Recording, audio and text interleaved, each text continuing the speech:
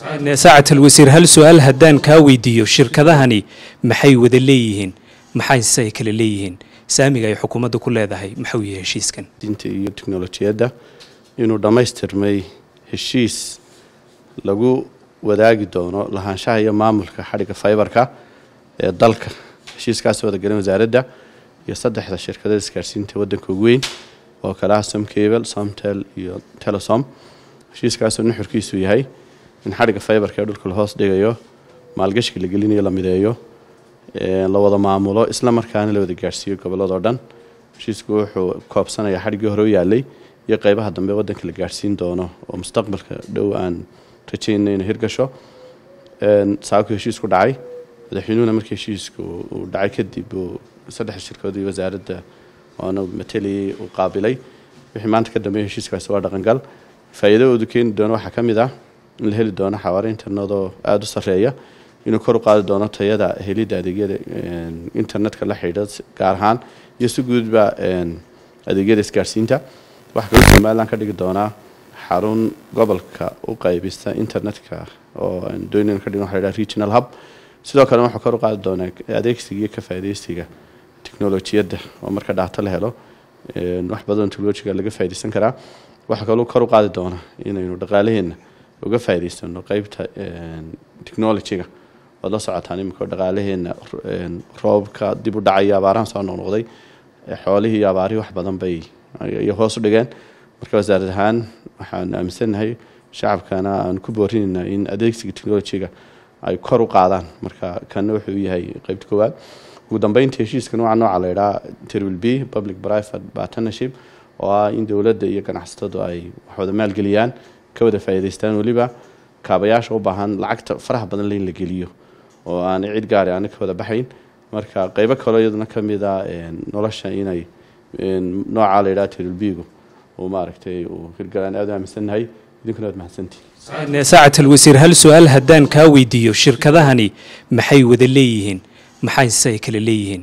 Saamiga ay xukuumadda ku leedahay maxuu yahay heshiiskan waxay wada leeyihiin xadhigga waxa in inta la yidhaha backboneka ama inta ugu u qaabilsan in adeega la gaadhsiiyo goobaha fogfog waxay gaar u leeyihiin wixii macmiilka la xidhiidha. Shirkad waliba iyadaa gaar si gaara macmiilkeeda waxu gaadhsiinaysa waxaa kaloo kala yeelanayaan xadhkaha ka imanaya badda.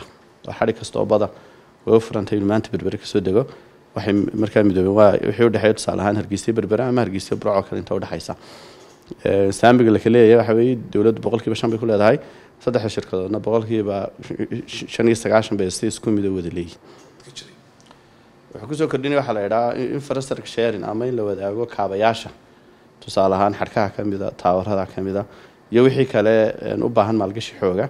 Marka wuxuu soo kordhinayaa in wax la wada yeesho. Maanta keliya tan kuma koobino shirkada waxaan ku soo rogaynaa inay taawaradana wada yeeshaan oo dhibta ugu badan dadku mikacooda waxaa ka mid ah in baa laga dhisayo goobo cusub taawaro cusub. Marka waxa shirkad hore meel taawar ugu lahayd.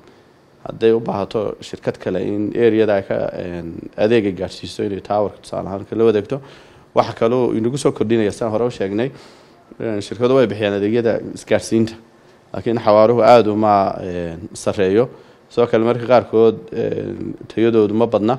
Waxaa kaloo iyaduna ka mid a marka lagu adeegsanayo tusaale ahaan mobilka oo kale waxyaabaha imika naga maqana waa laga yaabaa internetka wifi-ga waxa adeegsanaya inuu aada u fiican yahay kaalifkiisu kor buu qaadi doonaa waxaa kaloo iyaduna iman doontaa oo heshiis ku jira in shirkado ay u hogaansami doonaan shuruucda dowladda ka mid tahay interconnectionka oo iyaduna la socdo heshiiska oo qeyb ka mid a ah in la isku furo wicitaanka telefoonada heshiisku ma jiro laakiin mabda ku fadhiya ah in la wadaago infrastructure waxa la yidhaha kaabayaasha. Marka iyagana siyaasad gaar aanu hawsha u dhigno aan ka hirgelin doono haddii la yidhaha. Inta iminka jirtay ay dhigtay shirkadda somcable waa la wada isticmaalaya waana la wada adeegsanayaa. Wixii dambe la dhigayana si isku mida loo wada maalgelin doona. Marka nuxurku waxa weeye in la sameeyo shirkad maamusha xadhigga cableka oo ay leeyihiin afarta dhinac si isku midana oo ma sidaa loo leeyahay sheerarkii saamiyada loo kala adeegsado meelaha aan weli la gaadhsiinna markii la wada gaadhsiiyo marka kana waa la wada adeegsan wixii dambena waa la wada maalgelinaya haddii la qeybta hore waxa weeye boqolkiiba shan dowladdu maxay hadday shirkadu adeegsanayaan waxaa jira qeybo kaloo ka baxsan shirkadan oo waxaan jeedaa shirkadahan oo baahan kartaa dowladdu laftiga internetka oo baahan kartaa iyaday dib uga iman kartaa marka markaanu sameyneynay waxaan ka sameynay waxaan sameynay cilmi baadhis sidee uga faaidsan karnaa boqolkiiba shan wasaar ahaan marka waxaan ku qanacnay in ay waxa weeye tahay waxa ay dowladdu soo celin karto maalgashigii galay. Wasaashu waxa weye maalgashigaa la geliyey miyuu qalmaa? Haabuu qalmaa.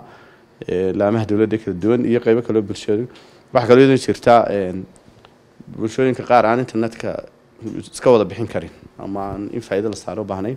Marka kale waa qorshayaal aanu shirkadahan wax isaga ogadnay inta kalena aan isugu iman doono. Arrinka isku furka iyo isku xidhkiisa laftigiisu waan diyaarinay sharcigiisii heshiiskiisii waan dhammaystirnay isna dhaqangalkiisu uu bilaabmay. Marka siduu kaasoo bilaabmay interconnectionkuna insha allah ku xigay wallahi horta maanta wax la seexin waa mabdii guud. Waxaa iman doona in maalmaha soo socday in la seexi doono waxa weeye shirkadda waxa la sameynaya maalmaha soo socda. Marka marka la sameeyo ee la seexo saamiyada markaasuu dhammaystirmi doona haddii ala yidhaha wasiir ahaan culays intee leeg ay kugu qaadatay muddadaad hawshan waday maadaamaan ognahay shirkadaha isgaadhsiintu inay yihiin shirkadaha ugu awooda badan marka la eegayo dalka. Horta waxa aanu ka bilownay inaan u sameyno shuruucda ka shaqeynayo. Annagoo xeerkii isgaadhsiinta ka duulayna ayaan u sameynay shuruuc haddana siyaasad baan u sameynay. Lagu dhaqo shirkaduhuna door weyn bay qaato niga laftigood halkan baan uga mahadnaqayaa. Waqti badan bay geliyeen dadaal fara badan bay muujiyeen. Intan dambe oo dhanna aada bay noola shaqeeyeen.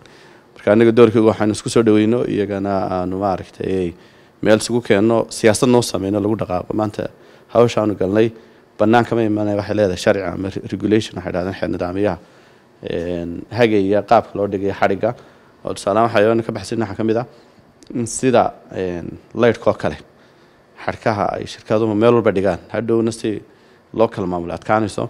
Marka wasaaradda waxay diyaarisay master balan xadhigga lagu dhigay magaalooyinka laftiga. Annagoo qeybaha kalena la gashan.